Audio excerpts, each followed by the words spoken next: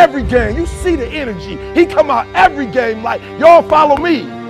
Follow my lead, baby, and we gonna win this thing.